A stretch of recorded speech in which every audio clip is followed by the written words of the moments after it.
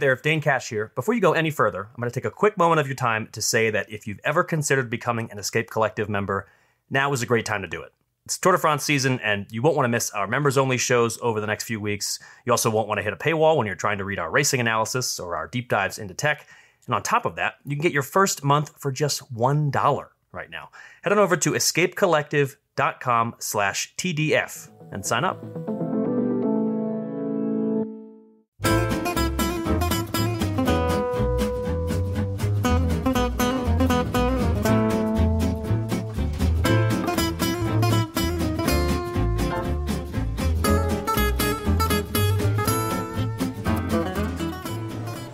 Welcome back to the Escape Collective Tour Daily Podcast, everybody. I'm Caley Fretz. Jonny Long, set. Set a beautiful scene for me. We are standing outside, standing up, the, outside the Bounty Pub, which is. I don't think it's a full Irish pub. I don't think it's an Irish pub at all. It's one of those tourist pubs that has the pictures of the food outside to try and tempt you in, but the pictures of the food outside actually stop you from coming in. But we're here I've to watch the uh, England Euros match. We're 1 0 down at half time. We've stepped outside at half time Pretty rough. to recap the Tour de France We're stage. gonna Everyone's looking at us. It's grand. We're back in the tour. We're back This is the tour. We're, we're putting on a show for everybody that's sitting here watching the uh, the England game, which we just won't talk about because, well, We'll catch up later. This Yeah. podcast will be done in bits. stage two of the 2024 Great Tour de stage. France. now to go to Bologna, a fantastic stage. Pretty decent size on these 10 rider breakaway. Ended up going up the road pretty quickly. And of course, we had these final climbs into Bologna, uh, a series of climbs that are used in the Giro d'Emilia uh, quite frequently. And so we thought, which I think is a reasonable thing to think, that Primoz Roglic would, would feature heavily today. He's, a, I think, a three time winner of that race. He's Was won he in the race today? yeah, he's, I, thought somewhere. Right then. Although a friend of mine pointed out that he, he he wins every other year, and he won last year, so he can't he couldn't win here Ah, this year. yeah, makes sense. We also didn't introduce Ronan. Welcome, Ronan. Oh, yeah. Hey. Thank you. It's about time. I've been standing here answering your questions for five minutes now. Yeah, that's just me. We'll we'll get the hang of this by like Nice. When we get right? back to By France. 2040. Yeah, yeah, yeah. So we had two races today. We had a race Mm. for the breakaway. We had a race for the stage win that ended up getting won by Kevin Vauquelin. There was kind of a third race as well because throughout the stage it was like, are the peloton chasing? Are they not chasing? Well, they were, and then they weren't, Yeah. and then Well, they were a- again. They, it was what? It was up to eight or nine minutes, and then it came down to about five, and then there was a pretty serious crash with a bunch of Visma riders in particular. Uh, I saw at the finish line Wout van Aert's kind of banged up arm. Matteo Jorgensen looked pretty banged up, so not a great day for Visma Lease a Bike, except that in the other race today, in the race for the yellow jersey, in the race for the GC, Jonas Vingegaard showed that he is here to play. And he jumped on Tadej Pogacar's wheel instantly. So quick. I mean, there wasn't enough time to actually consider whether Vingo would be able to jump on his wheel because it, it just happened. Like Ronan Ten to me was like, "That was quick." Pogacar's attack was impressive. Vinigo's response was like, he responded before Pogacar even Yeah. moved. It's like he don't know how told did him. it. He was like, "I'm going to go here. If you just come with me, then you know." Which okay, easier." let's let's sort of dive into the psychology of that a little bit, maybe Ronan, because you you you you've been in this in this position. I've been in this position. When you're feeling good, you react quickly. Yes. When you're feeling bad, you take a second to think about it, right? Exactly. Yeah. If you're if, if you have the legs, you even if you have the legs, you might take a second to think about it. He didn't even today. That's it was a Hmm. clear indication he's on good form. He's feeling good today. That's not necessarily a clear indication he's going to be good on something like Galibier or something. Yeah. But in terms of is Vinigo ready to race this race? Yeah. We got a clear indication today that he is, and we got a clear indication that others were not. They had that Yes. split second hesitation, Mm-hmm. and bar two riders, I think we'll probably discuss later. None of them had the legs to come back. Well, let's let's sort of start the show with the GC chat today because you know as much as we love sweet Kevin Vauquelin, uh, I I'm, I don't know that much about him, and I don't. Shall I, shall I give a brief overview Yeah. when I did a bit of research? Won the Tour des Alpes Maritimes de Var. Solid rider then. Solid rider. Won uh, the Tour of the Jura. Came second at Flèche Wallonne this year. And he was Toms Skujiņš's uh, Escape Collective draft pick. And Tom's does know. And Tom's knows these things. Yeah, So he's a, he's a, he's a rider that's good. He was That's straight on French TV. pick. that's that's In February, Yeah. he picked Vauquelin. Yeah. None of us even considered him this morning, and he it's, picked him in It's February. Vauquelin, right? Vaclin, Vauquelin. Vauquelin. Yeah, because in the when we were in the press room watching the race, you ca- you were like, why do they keep talking about Thomas Vauquelin? And you're like, no, I wasn't really Kevin paying Vauquelin. attention, and it's all in French, and I was like, "What?" Uh, they- Two French winners Well, in a row, because, though. Pretty fun. because Voeckler's also previously been on the motorbike, and so when I when I did sort of perk up Still on to the motorbike listen today. yeah, Still, I yeah, was on the motorbike for, on French television, so I was like, "Are they just talking to Voeckler?" But then I actually started listening and realized they're talking about the bike racer. Well, I, well, I kick us off on the GC conversation. Yeah, and, Yeah. and not really a GC contender, but the current GC leader heading into the day, Bardet, because I think his team tactics played a big part in what actually unfolded today. With the break getting that large gap, it kind of all made sense for DSM because with the break taking the stage, they take not only they take time bonuses away from the stage finish line, but they take the time bonuses that were on offer at the first time up San Luca. yeah. Which also theoretically, if it's an easier day coming into San Luca, maybe Bardet has a better chance of sticking with the GC riders yep.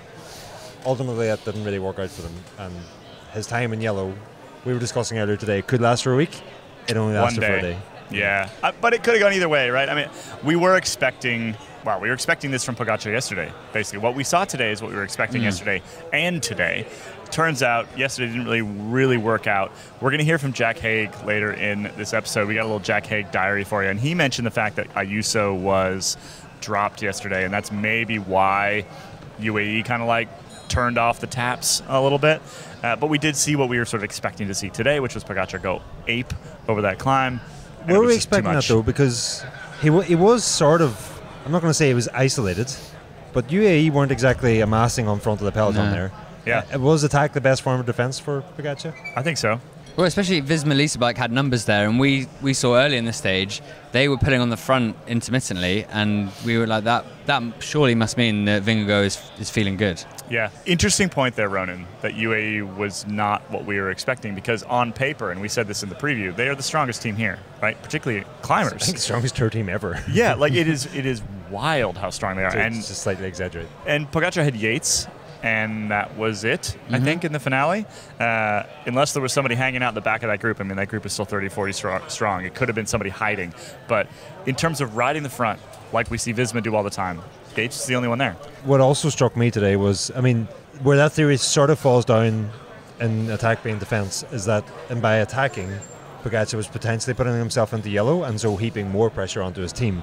But what I found was interesting was He's never thing- cared about that, though. Well, one thing I've never quite understood is this whole like, no matter where they're sprinting for, the GC contenders sprint for the line at the end of every stage, and seemingly to me waste a heck of a lot of energy sprinting for. It- it seems to be just like a wanting to beat each other sort of thing, Yeah. rather than actually- Psychological. yeah, psychological. Hey! Phil Foden, you beautiful man. We're gonna have to apologise to uh, podcast listeners who detest football slash soccer. Uh, yep. It, uh, where were we? We're 48 minutes into the, into the match here, and Phil Foden just equalized for England.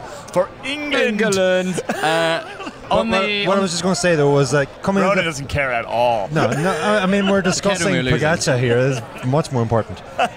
Just what struck me about the sprint to the finish line today, when Remco and uh, Carapaz had caught Vinigo and Pogacar, the sprint for the finish line, Pogacar did not contest it at all. It was almost as if like he was aware that he was about to go into yellow, and maybe if he conceded enough places without losing time, Yeah. one, maybe Remco could take yellow or Carapaz could take yellow because they were in that same time group yesterday. So in the press conference with Tadej Pogacar, because the yellow jersey has to do one every day, where he gets beamed into the into the press room, gets He- to do a few questions. He did avoid us at the mix zone, though. He did. That's all right. But what he said was, as the day was panning out, he was like, it was perfect because we had to break up the road with loads of oh, goal oh, checks. no. Oh, this is gonna I was be going to terrible joke for about us. that. It's It's offside. offside. Okay, anyway. Oh, God. Sorry. So in the yellow jersey press conference, which, which today Pogacar has to do every day, right? Uh, the yellow jersey has to do every day. He said that it was a perfect race scenario where the break were up the road, the yellow was still going to get carried on to someone else, or you know he wouldn't have to worry about it or the stage win, and then he could give his team a bit of a rest. So he's already thinking about not using his team up. Yep. Which may does that give an insight into it into where his head was at? I'm not sure, but I think it gives an insight into one thing that I was thinking about watching the final few kilometers today. I'm not going to use the, the, the, the phrase, it's not a day you can win the tour, but it, it actually isn't a day you can It- win the it tour. It's literally also, isn't a day you can win the tour. It's also, Yeah. it's also not a day you would lose the tour, Yeah. but it's a day where you could spend a heck of a lot of energy because of the heat that the riders to put up with. it was the mm. same yeah. story yesterday. Yep. And putting your team through that, if it's going to be the same again tomorrow, is not something any of the top teams is going to want to be doing at the moment. The only good thing you think, if we're going to spin zone for Pogacar, Yeah. is that this is the first time he's worn the yellow jersey since that Col du Granon stage in 2022. So whatever you know the permutations are, it must feel good to be back in the race lead of the Tour de France. It must give you some sort of lift to be like, okay, even if there are you know potential potholes down the road, at least I'm in the race lead and it's in my control. Is that a segue or A segue. potholes in the road? And Matteo Jorgensen crashing today? Because I, I was going to. Oh, Let's segue. didn't Well, mean to. Why did Okay. Matteo Jorgensen crash? He crashed because he. Two riders in front of him split just as he had his hand in his musette to take a bottle out. Ah, Oh, there was no. a pothole in the road. No. I haven't seen any potholes since he came to Italy. no, Yeah, the road was good, yeah. wasn't it? Like most of the route has been resurfaced. We, we drove in front and head of the course yesterday Yeah. en route, and most of the route seemed like it had been resurfaced. Yeah. He found the one pothole in Italy yesterday. Today That's even. definitely not true. The one pothole on this race course, maybe. I'm going to go with the one pothole in Italy. And At least in the came down middle to north. Came down hard. brought down Wout van Aert with him. Uh, mom- definite moment of panic for Yeah. his Melissa bike. Yeah. Uh, That speaking to him data center would have the control room van would have been I mean the Flashing uh, red. The, the automatic jersey analysis tool would have been saying would have been on high alert for two Visma Lease a Bike jerseys on the ground. Uh, thankfully, both riders seem to be okay. Jorgensen Yeah. is himself is definitely absolutely fine, Yeah. um, but still no, not something you really want to happen. so Pogacar's in yellow, then Vingegaard, Evenepoel, and Carapaz are all on the same time. Yep. Pretty Let's- good. I want to talk about Remco. That the way he The way he came across. Yeah. Okay, so so Kelly, just before you go on to Remco, yeah. Vinigo descending today. Is, has he been taking some lessons from Van Aert or something over the winter? He, he's, he The looked- descending? Yeah, I mean, he was pretty damn good last year, wasn't he? was he? That time trial? Uh, Remember that? Yeah, granted, He was pretty damn good. Uh, I mean, the, like, then whenever they've descended together, it was Pogacar that was, was the one that fell down. If I if I remind you. point, actually. rather handshake. yeah, yeah, Yeah. yeah. I, I mean, I, I think there's this weird. I mean, I, I remember you and I both saying that he wasn't a particularly good descender last year, and I'm not sure that was accurate. that was accurate. Uh, like, I mean, we had that sense. I don't know, just because he was tiny, he had had some sort of bobbles before, but he certainly had figured it out. Like, I, I, I'm not worried about that for him at all anymore. It's all relative as well. Like he would easily drop. Pretty much everybody. Yeah. Yeah, yeah. You know Okay. who else couldn't follow Pogacar today? yeah. Probably not. The Slovenian, the Slovenian fans. the chaos as he came back to the bus after getting his yellow jersey was was a sight to behold. There was a footpath in Bologna that turned into the hundred meter sprint in the Olympics. Uh, with with a whole line of fans It's chasing good to behind watch, him. isn't And it? And Pogacar was- TV. Pogacar was properly like winding them up. He was like calling people in to join in, and like the, the, the the bus that was forming behind him, the train that was forming behind him, chasing him down the street. I mean, I, he has more fun in the yellow jersey, Are or just more fun at the Tour de France than any rider I think I've ever seen. The only possible exception being like Rigoberto Uran with the Colombians, who has an absolute blast every time he's here. We all kind of thought Sagan was fun, but in hindsight, Sagan had, had a good fun, yeah, but but mm. he would- he didn't he didn't like amp people up like that. yeah. Yeah, He was fun in the darkest it. hour of the tour when we were all suffering under the Team Sky dominance. so Evenepoel, are we yeah, ready? we're, to let, win? us get back to Remco. So you know we're, we're watching on phones at the finish line, right? Because we're waiting over by the buses so we can we can talk to folks and missed big sections of it. But turns out we just watched the replay. They didn't actually show much of it. So all of a hmm. sudden they're they're back on the flats, right after the descent, coming back in towards the finish here in Bologna. They're they're kind of cruising around the edge of this of the city center basically, and there's Remco and Richard Carapaz just motoring Yeah. up. Mostly Remco. Mostly Almost- Remco. What we've seen on Carapaz. what we've seen on TV, almost entirely Remco. Yeah, closing Carapaz the gap. mostly drafting all But, the way up. but to be yeah. fair to Fair enough. Carapaz, he then looked good. yeah, He let Remco close the gap, and then he went for the sprint. And Yep. he, he looked good in the sprint. To be which fair. is what you should do. yeah. but I guess I guess sort of the broader point here is that you know Remco was there were other GC favorites behind, right? Roglic maybe didn't have an amazing day. In fact, he was actually distanced for a little bit, and then I think got some help from from Jai Hindley and others to get back up into the main group. Remco was the one who was able to take the initiative. Yeah. Yes, he didn't follow the initial move. Frankly, if I watched that move go, I'm not sure I would want to follow it either, right? Like, I, if, I if- think it was one of those where Vinigo was impressive in following, but he was also in the right place. yeah, Yeah. And if you weren't in the right place, it was gone. yeah. Yeah. Was so he, he, he took advantage of a, of a speedy descent, and then, and this is the thing that's I think important is remember he had a fantastic time trial At the Dauphiné. at the Dauphiné, and not so good in the mountains. And I'm wondering if we're going to see something similar from him at the Tour de France, because basically what that effort was was a time trial effort, mm. right? And he absolutely closed that gap on Tadej Pogacar. Granted, Vingegaard had stopped pulling. Pogacar definitely was not going to go 110% to pull Vingegaard to the line, so it's not a, it's not sort of a, a direct one-to-one thing, but still hugely impressive. Well, that's what Pidcock said uh, afterwards. He was like, "You see Pogacar attack off the front," and he was like, immediately in my mind. I, I remembered watching him at this year's Giro, where it's like, I know what he's going to do to everyone. Do I want to completely burn myself trying to chase down a guy I can't chase down? Yeah. So you, apart from Vingegaard, and then that's you can now add Evenepoel into the camp of like has the belief in himself to be like those guys aren't gone forever up the road. I hadn't heard that Pidcock quote, and that's No. interesting because like Yeah. how, how much like obviously Pogacar and, and Vinigo are, are a step above anyway. Yeah. But how much is just a psychological thing now? Also, where they're I mean, at this they're point- two steps above because Yeah. they are one Must step be right. above. Must If be at least re- a bit. If you race that Giro with, with Pogacar, you're not following him anymore, No. right? You saw what happened to, to Ben You're- you're O'Connor. still You're like, having I'm, nightmares. I'm, I'm out. There's more life to be lived than trying to follow his wheel.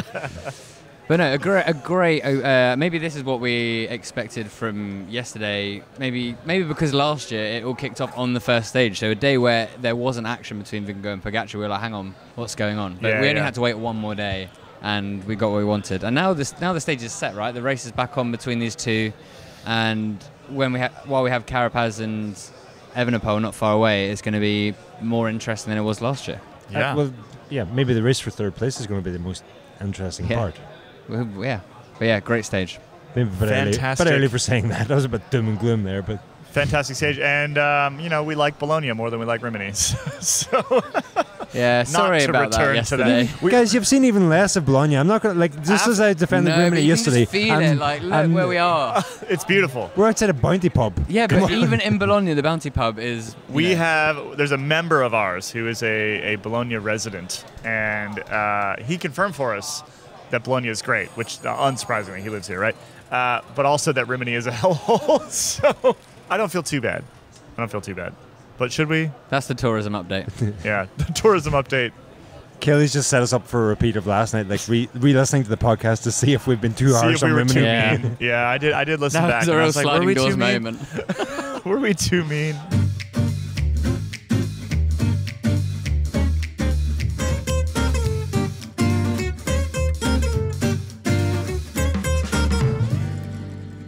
I want to talk about Roglic Yep. uh, because the coverage is a bit spotty there, but we did see him gap off just a little bit, kind of like 15, 20 seconds before Pogacar went.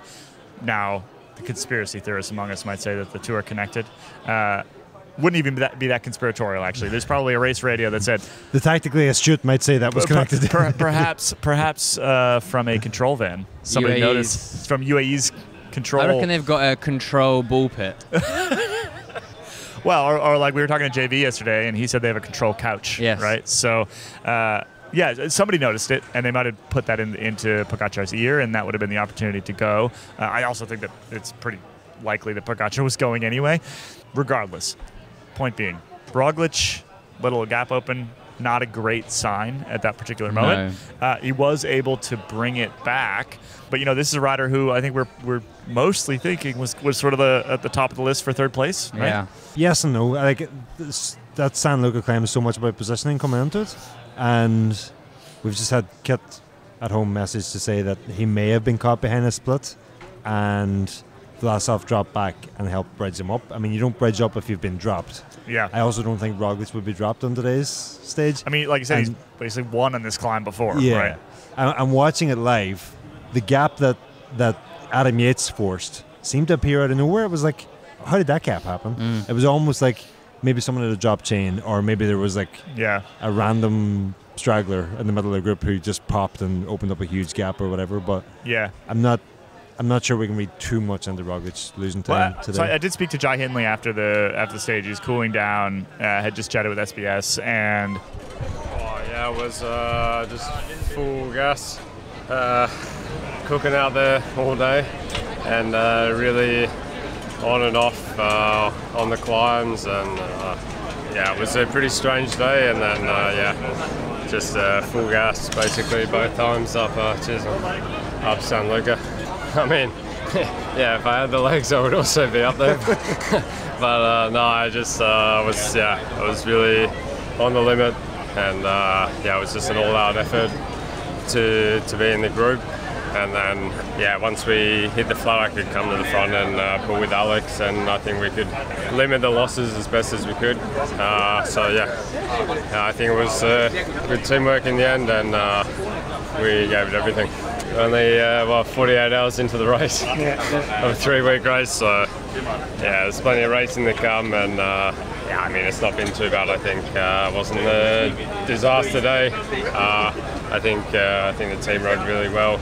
Also, before the final circuits, the boys were really great with the support and uh, plenty of racing to come. It's just the evolution of the sport. It's uh, the racing style is changing quite a bit. I mean, you go super easy and then and then everyone gets told in the radio there's a corner coming and then. And there's full gas with uh, I don't know 150k to go for some reason. For sure, everyone's uh, finding the, the race rhythm again, and uh, yeah, I mean we're only two days in, so yeah, I don't know. I mean there hasn't been so much racing yet, but uh, well, I think it's been pretty exciting. No? Yeah, I mean obviously the conditions are really, really challenging. Uh, also yesterday was super hot, so uh, I mean I don't think it was too bad to be honest. Uh, and yeah, happy me and Alex were there in the final tailbelt. The good thing is, is that this is like a first taste of what, what may be to come in the GC battle. We don't even have to wait that long. So we've only got sprint stage tomorrow, and then we've got the Galibier. So then we'll know. There won't be any of this days and days of wondering and pontificating what will happen. We will know. You might Yeah. regret that though if we know, and then there's two and a half weeks of knowing. that was like the uh, 2021 tour when Pogacar won that stage Oh, five yeah. time trial, and then everyone after was like, "Oh, Ah, tour's over," don't. Yeah. and it was. Yeah. Nah. So we're not too worried about Roglic, but maybe maybe just minor minor cause for concern. Uh, yeah, I chatted with Rolf Aldag as well, his director, and, and actually Rolf hadn't actually even seen most of it yet, so he didn't have any answers for me. He's like, you know more than I do at this point, On the, on that point as and I well, didn't know anything. So on the point of not worrying about Roglic on that climb today, like we should also just mention how different that San Luca climb is to to what a GC contender can usually do. Yeah, that- and that is and. Pogacar is a different species. So is Vinigo. Beyond that, because Roglic or I don't know Bernal, Geraint Thomas, Rodriguez, whoever is any Yeah. else like wh- whatever way they fared in today's time is much more punchier. And typically GC riders aren't all Mhm. that punchy, Yeah. except Pogacar and Vinigo. yeah, Um, so I, I mean, Well, thank God we got two of them right. yeah. because if there's only one, I mean, that was our concern is that Vingegaard wouldn't be there, right? Yeah. And that was the an- that was the question that was answered today. And I think Yeah. that, like above all, that is the question that was But answered even today. still, though, I don't. is th- there. I wouldn't take from today that Vinigo will be there. I'm not two, saying we- he two weeks won't. from now. No, no, no, no. But yeah. today is no guarantee that he Yeah. is fully there the way he was in the past two years. I mean, we've been saying throughout the, all these sort of like intro to the tour f- episodes, right? Like, you get your 20 minute power back before you get your your two and a half weeks in power back, Yeah. right? So the durability question, which is a big question. T- and today was a relatively easier stage, also. Yeah. Not chasing the break, not bringing it back, no, not going for stage one.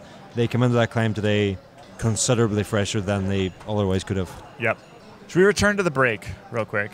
Uh, again, Yes. again, massive congrats to Kevin Vauquelin and uh, and all of France. Really, Okay, Airbnb. they've got they've got two stage winners in two days, which is uh, France doesn't win stages that often actually anymore. Uh, the new Victor Lafay, perhaps. Hmm. You going to pick him next year?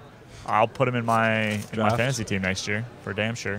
What else do we we know? Um, we're watching the breakaway, and my, my call out of the breakaway, uh, breakaway was actually a Colombian rider on Astana named Harold Tejada. And Ronan, you actually sat in a taxi with him for about an hour. Are we going to tell a story now? I thought we were going to keep that story for after dark. Oh, we can tell after oh dark. well, yeah. Let's Well, let's now do I that. just set it up, and we can say it's going in after dark. Hmm. nice. How and when I shared a taxi with Harold Te- Tejada. Yeah. Within the last six weeks, I might add. Yep. So, for those who don't listen to this podcast the rest of the year, After Dark is for members only. You need to go sign up and make sure you get access to that. Again, this month it is only one dollar. Head hmm. to escapecollective.com slash TDF. Get signed up. You'll also hear about his Irish teammate on Astana. which we didn't even know about. Frankly, I don't even know. Shocking news. His Shock- teammate didn't even know he was Irish. Shocking, shocking news.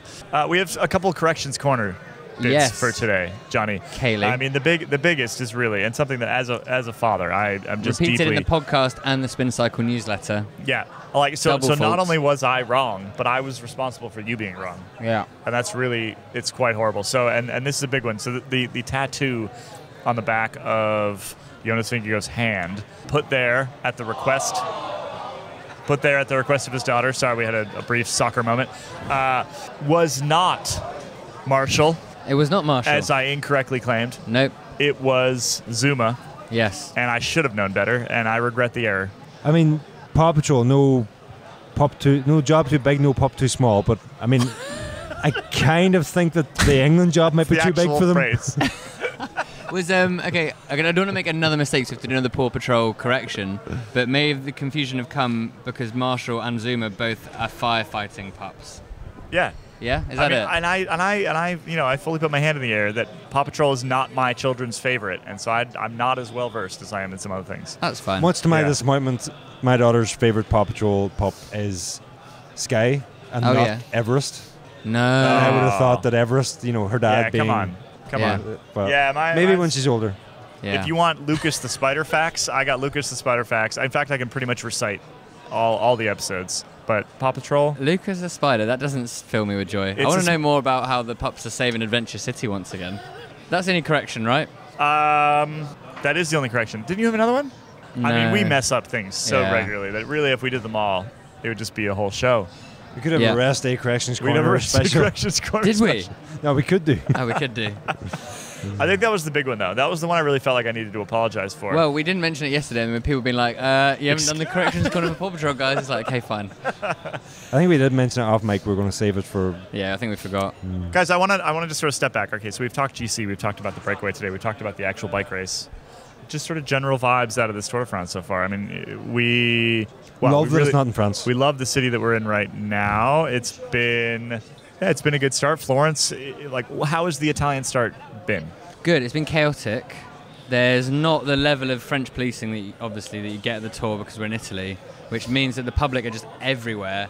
The riders are trying to like just ride through crowds like too fast that they're gonna like hurt themselves. Like not saying this is why Jan Hirt basically knocked his front teeth out because that was like a, a whole thing like got caught on a like a camera strap or something. Well, let's- and it's not the riders' fault, but it's just like it's chaos. Like the finish is just chaos. wow, wow, wow. Let's talk about this a little bit. So, Okay. so just as I don't think we mentioned this on the pod, did we? 'Cause- so Jan Hirt was crashed by a before spectator the start of stage one. before the start of stage one yesterday. He like chipped a bunch of teeth. So he's off to the dentist.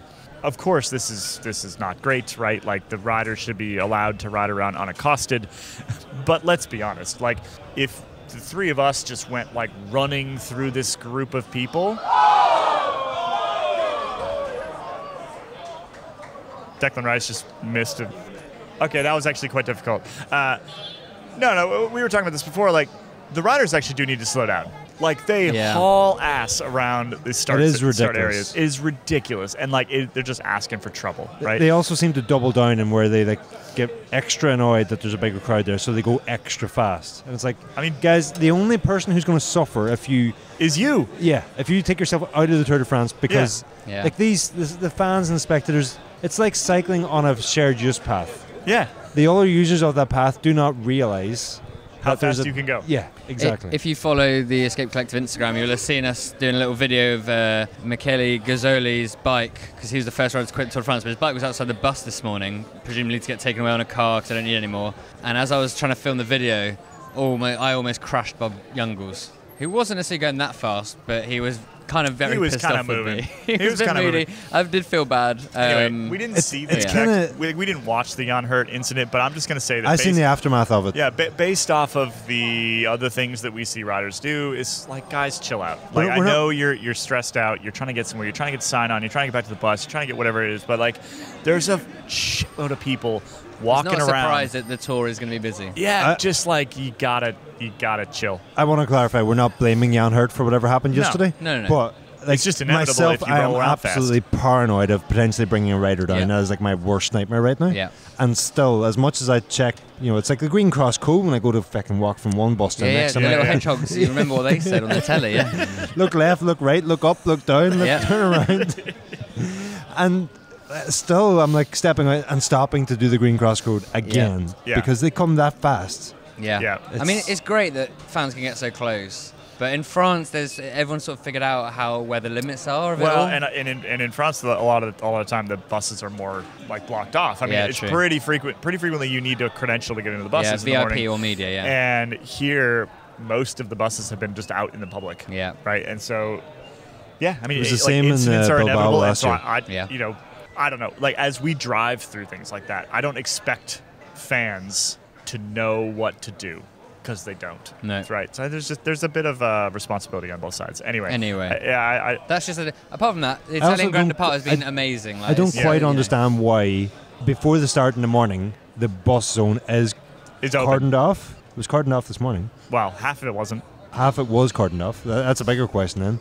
But in the in the in the evening after the finish of the stages, it's a complete free for all. Yeah. Uh, and like a free for all is great. I'm not saying that's wrong, but um, it's, it's the disparity. It's like why one one way and the other's the other way. I- Yeah, I, don't quite. But yeah, great fun. Well, well designed stages, I think so Beautiful far. stages. Um, different taste, but the fans seem to have been loving it. Everyone's out on the road. yep. Riders seem to be enjoying it. Sometimes you go to, I mean, it's different because it's Italy, it's France, but sometimes you'll have these uh, foreign grand departs and the riders won't necessarily race it the way they would Yeah. uh, on roads that they know. But I guess the Or Italian Or you riders just have the local rider who go off in the solo, Yeah. or the Yeah. like Magnus Cort or something. in Or, you, or you just don't have the the available terrain that, that Italy has. Yeah. Right. Like you know, y- you Yeah, just that's a can't- good argument you for where can't- to put them, You yeah. can't do as much in Copenhagen as you can No. do in in Tuscany. Well, uh, yeah, and that was one thing that struck me yesterday. Was like there there would have been an opportunity. There, there would have been opportunities to have an easier stage yesterday, Yeah. but they decided not to do that. And for like Florence and Rimini being on the world stage and advertisement for the area, Yeah. I thought like a, a boring sprinter stage like we had in Belfast ten years ago at the Giro Yep. didn't really do all that much for Northern Ireland.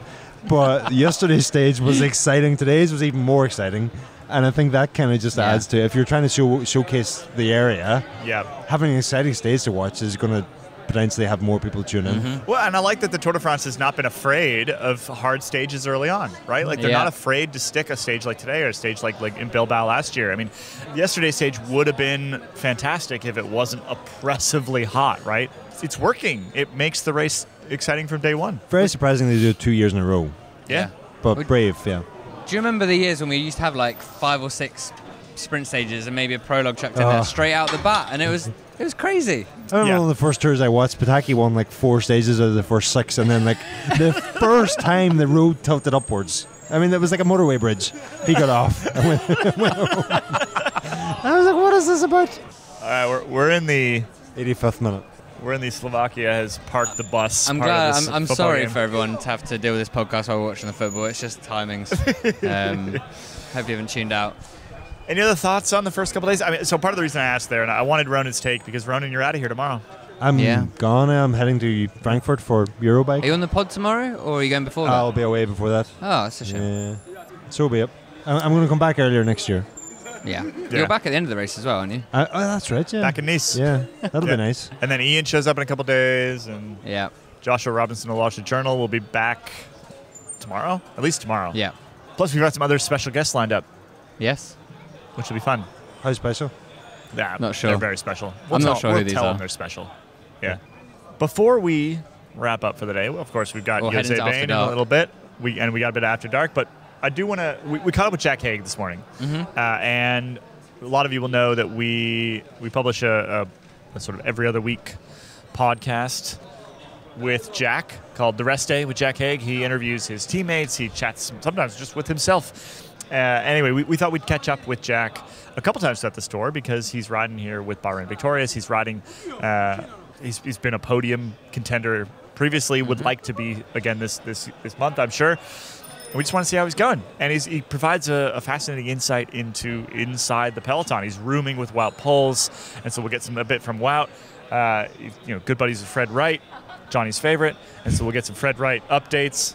But today, we just wanted to catch up with him for a couple minutes. So let's hear from let's hear from Jack. Let's see how Jack's doing so far.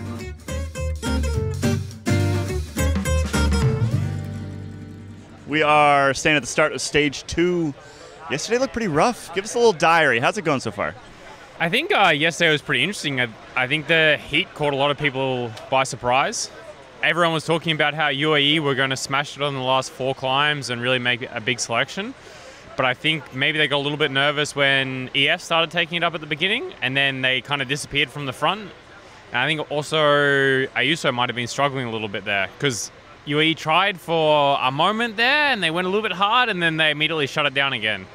But I was surprised with EF taking control straight away, and then I really didn't expect the breakaway to arrive to the finish. So chapeau to uh, DSM and Bardet. Was EF just Bettiol? Was they just like he's got tricolore? We we gotta we gotta do something. I, I assume so. At one moment, I also asked someone else in the peloton the same thing, and they said, "Yeah, I guess it's for Bettiol, Italian champion. I think he's from close to the area, or maybe he lives in San, uh, San Marino or something." But um, yeah, I'm assuming that. How are you feeling?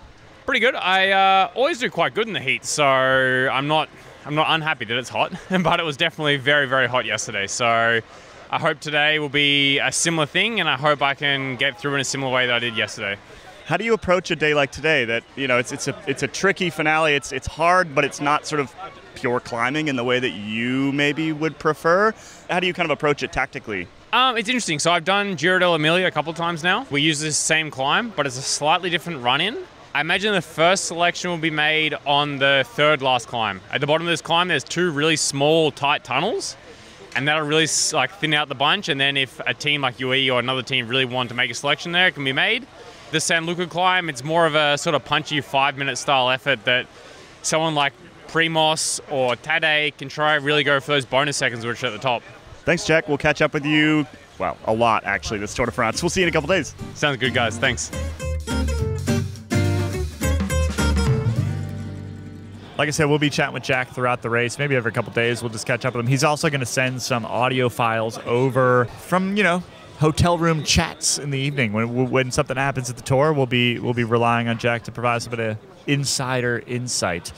Let's head over to Jose Been, who has our our cultural attaché, one might say, who has a look at tomorrow's stage, which is the longest of the race. A Last two stages have been so long. It, we, guys, we, you, have, you have any idea how much driving we have to do tomorrow? We have like a two-hour drive to the start, and then the stage itself And is like haven't put me in the hire car 230k, and we haven't had a chance to add either of you to the rental car yet. So I'm driving all of it. That's unfortunate. Uh, Much to Jonny's delight. but Jose Been, Jose Been is going to tell us a little bit about Fausto Coppi, one of my favorite riders ever. It's our last day on Italian soil, although I was kind of confused when I saw the route announcement. Plaisance Turin is our stage 3. I searched for the town of Plaisance on Google Maps and found nothing in Italy. It was only then I realized the French Frenchified the name and we actually have to be in Piacenza. Benvenuti. At 229 kilometers, this is the longest stage of this year's Tour de France. Only five stages are longer than 200 kilometers, with most of them close to that 200 mark. It's a trend to make stages shorter and shorter, and one of the reasons behind this is extended television coverage from start to finish. And I know there are people who love a flat 237 kilometer long stage from start to finish, but the ASO wants to cater to a younger public and make the broadcast shorter and more dynamic. The longest Tour de France stage ever was in 1990, the first race back after the horrors of the First World War. And the fact that the war was only seven months ago didn't inspire the organisers to take it easy. At 482 kilometres or 300 miles, stage 5 of that year's race is the longest stage ever. And with a total distance of 5,560 kilometres, the 1919 edition ranks second in the list of longest Tour de France's. The longest one was in 1926. Winner Lucien Buysse from Belgium needed 248 hours and 44 minutes for the 5,745 kilometers through France. Gradually, the tour got shorter and shorter, and the last edition of over 4,000 kilometers was in 1987. This century, the total distance is usually between 3,300 and 3,650, And this year we're bang in the middle of that figure with 3,492 kilometers. On our route today, we pass through Tortona. It's the first of three categorized climbs, and Tortona got itself a place in the history books as the town where Fausto Coppi died. He contracted malaria in a race in Burkina Faso and died aged only 40 years young. This segment is way too short to give you a biography of Coppi. He is, of course, the winner of the 1949 and 52 Tour de France and the Giro d'Italia of these two years for that matter, too. He could have won a few tours more, but in 1950 he refused to ride because his rival, Gino Bartali, would also be there. In 1951 he did ride with Bartali, but he was still struck by grief for his brother Serse Coppi, who died after crashing his front wheel in a Turin tram track and died in his brother's arms just a few days before the start of the race. And there was, of course, the controversy around the Dama Bianca, the White Lady. Coppi was married, as was Giulia Locatelli, but they started a relationship with each other no matter what. And that was an absolute sin in Catholic Italy. The landlord of their apartment in Tortona was so appalled when the two lived together in sin that he threw them both out. And the Pope even asked Coppi personally to return to his lawful wife. But love is love, and there was no stopping it. They eventually got married in Mexico, a marriage never officially accepted in Italy, and they had a son in 1955, Faustino. But he was born in Buenos Aires because of the huge scandal his parents had caused. How the times have changed. Thankfully, I should add. So here's what we're doing in After Dark. First of all, we're going to tell you about Harold Tejada and what he's like in a taxi cab. Second of all, we have a couple. Actually, I think we used one of these because we've got a pile, but we're going to spread them out, and we want more too. We have, well, we have a comment from a listener. Uh, I mentioned this in a couple episodes ago. If you head to escapecollective.com/hello, you can leave us a, a, message, leave us a voicemail, basically, and it could be a hot take, it could be a cold take, it could be a question, it could be an observation. You could sing. It's my birthday. You could sing me a happy birthday. Well, yeah, we didn't actually mention that. I forgot to. I was going to start with it, but then you asked me a question, I think, so I didn't say that. It is Caley's birthday, uh, and we are yet to give him his present. If anybody wants to Shall we sing me save happy his gift birthday, for after? wait, do I have a present? Not no after after dark, After, Ah. after dark, okay. just for us three. Ooh la la. Mon That Dieu. sounded weirder than it is.